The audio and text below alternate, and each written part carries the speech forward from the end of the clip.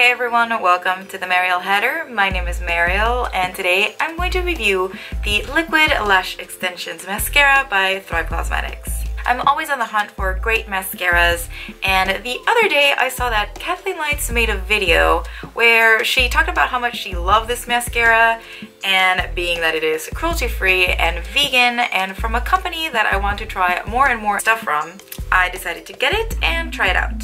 I have very finicky lashes. They are very straight, longish, thickish, and they will not hold their curl with any old mascara insert clip of my lashes.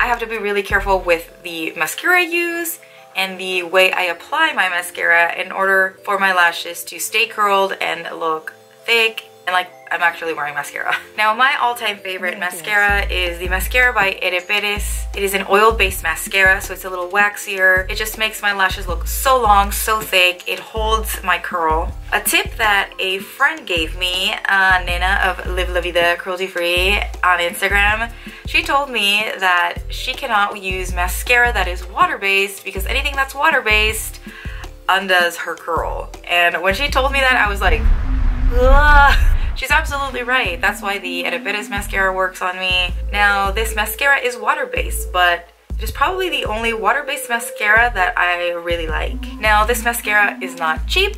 It is $24, but it has amazing ingredients. It is sulfate-free, paraben-free, vegan cruelty-free, all the good stuff. And I think I forgot to mention this in my Warm Eyes palette uh, versus video. Thrive donates a product to women in need for every item that you buy. So not only are you getting fun stuff for your face, you're also helping women in need. So those $24 are very worth it. Okay, so pros and cons. This mascara is pretty much like a tubing mascara. Um, as a matter of fact, uh, when I just got this and I was trying it out, I had like an emotional breakdown. I was weeping, I was crying heavily while I had this mascara on and the mascara just kind of like fell off my face. It didn't smudge, it didn't give me like those crazy black streak marks on my face, but I just saw like the little pieces of mascara kind of like falling. You can see this as a good or bad thing. I think it's a good thing because that just means this mascara will come off very easily at the end of the day. You're not gonna have to struggle like getting off a very waxy mascara. Like if you have very brittle lashes or you just hate spending a lot of time taking off mascara, this is gonna be great for you. But since it does come off very easily. I wouldn't recommend this for like a big date, like if it's your wedding or I don't know, somewhere where you're gonna get emotional and cry, I wouldn't take this. I would recommend this for every day. So I'm wearing the mascara right now. I'm gonna show you some clips of me putting it on. So there are my lashes, Again, straight, not too thick, not too long. So I do have to really pump my curler when I'm curling my lashes. The curl does have to be a little extreme in order for it to hold up. And as you can see, the spoolie is very soft and bendy. It is not like a traditional spoolie. I tend to not put mascara all the way to the bottom of the shaft of my lashes, you know, the closest to my eyelid.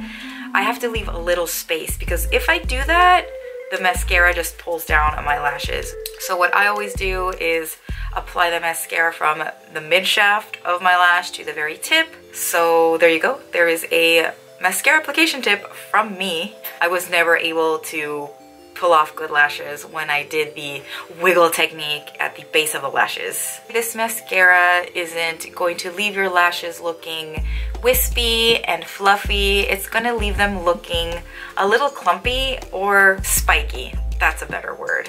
It's gonna leave them looking more doll-like, which I like. This dries really fast. This doesn't leave your lashes feeling sticky which is something I hate because then my lashes get tangled. So here you can compare my bare lashes to the lashes with the mascara on. Alright, end of the close-up. This is how my lashes look normally. This is my everyday lash look.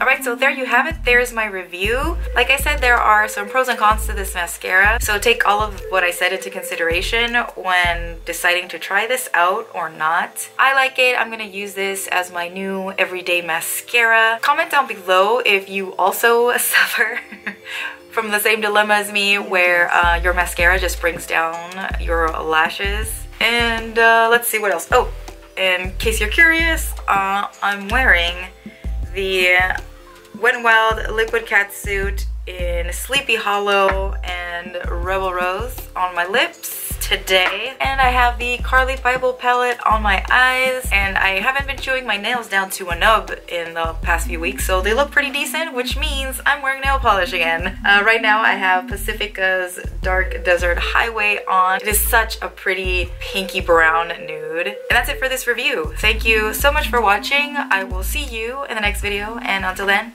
bye.